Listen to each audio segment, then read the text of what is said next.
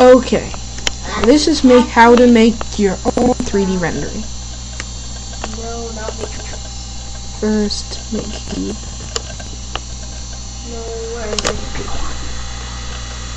Okay. Then move it to the center. Then right click or double click and change the divisions.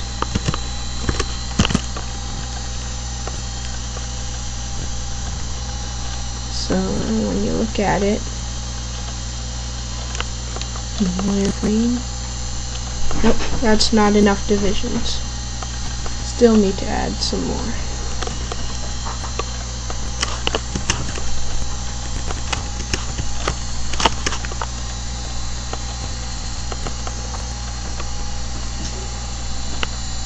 So once you've got all your divisions in there, build to convert to mesh.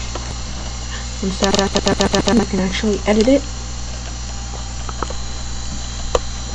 Now, switch your view to perspective. So you're going to look, use arc rotate, control, look up a bit.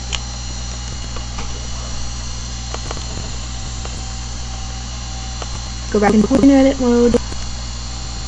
Face select and select the farthest one. And just move it up a little bit. And then do, the same thing with the other one. And move it up a little bit. Once you have both of them done,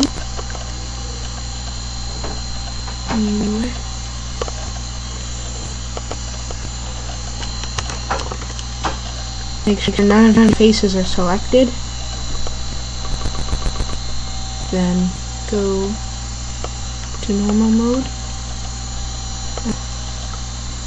Divide the faces.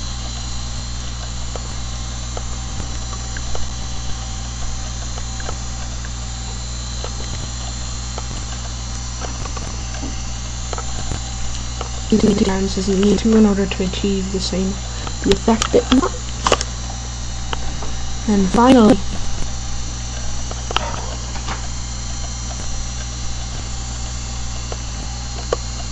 add your color.